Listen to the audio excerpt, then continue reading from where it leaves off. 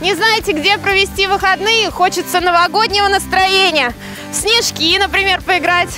Или на лыжах покататься. Ну или как в детстве, бабочку сделать прям в сугробе. Приезжайте в Головино. Здесь море снега.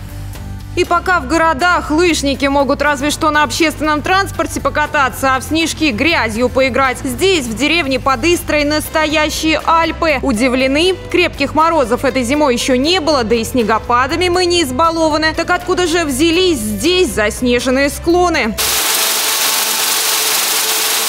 Вот она, разгадка. Это снеговые пушки. За один час одно такое устройство может выработать до 150 кубических метров снега. С помощью них лыжную трассу в Головино готовят каждый год. Здесь тренируются спортсмены школы Олимпийского резерва. Приступать к занятиям они должны раньше, поэтому и распыляют искусственные осадки. Это получается вот этот снег. Нет. настоящий. Он, э, мы просто его так называем, он, конечно же, настоящий. Что такое снег, да? Это э, осадок, осадки э, в виде там, дождя при минусовой температуре превращаются в снежинки. То же самое, то же самое вода при э, оседании на землю превращается в снежинки. Но чтобы осадки не скапливались в одном месте, а трасса была ровной, снег равномерно распределяет ратрак. Специальная машина с гусеницами. Причем распыляют осадки тут аж до апреля. Так что и весной можно в зимней сказке оказаться. Прийти и покататься может любой абсолютно бесплатно. Я тоже возможность не упущу, заодно и трассу опробую. Я профессиональная лыжница. Ой, я, я еду на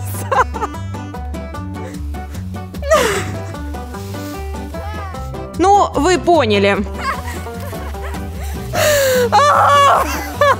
Если вы так же, как и я, последний раз на лыжи в четвертом классе вставали, не переживайте, дружелюбные спортсмены вам помогут. Только направляясь сюда, не забудьте прихватить снаряжение. Проката оборудования здесь пока нет. Зато есть трассы на любой вкус. Подойдут и для таких, как я, неумех, и для мега-профессионалов. Общая протяженность всех порядка 20 километров. Сюда на сборы приезжают отдохнуть и покататься по знаменитой Головинской лыжне. Олимпийские чемпионы. Не зря это место входит в топ лучших трасс всего Подмосковья.